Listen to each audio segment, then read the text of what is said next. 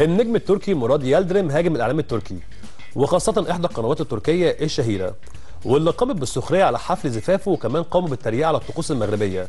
وليله الحنة بالمغرب على عروسته ملكه جمال المغرب إيمان ألباني. وقال مراد وهو متضايق جدا الشيء اللي كنت قاعد عليه في حفل زفافي بالمغرب اسمه تيفور يا عديم الاحترام.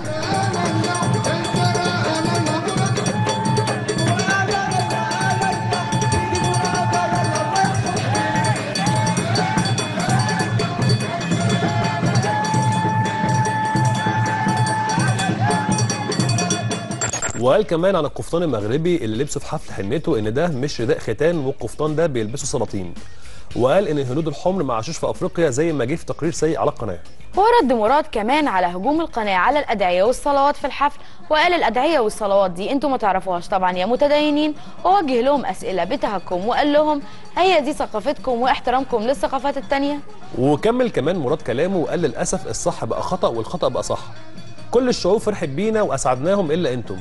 و12 كمان خبر زواجنا في 100 دولة ومفيش حد اهنا وسخر منا غيركم. وقال كمان أخجل إني أقول إن في بلدي جهلاء مثلكم وأخجل من ترجمة كلامي للإنجليزية. والغريب إنكم بتكتبوا أقوال مولانا جلال الرومي على حساباتكم على تويتر لكنكم ما بتعملوش بيها. حفل زفاف مراد يلدرم وإيمان ألباني كان حديث الساعة طوال الأسبوعين اللي فاتوا.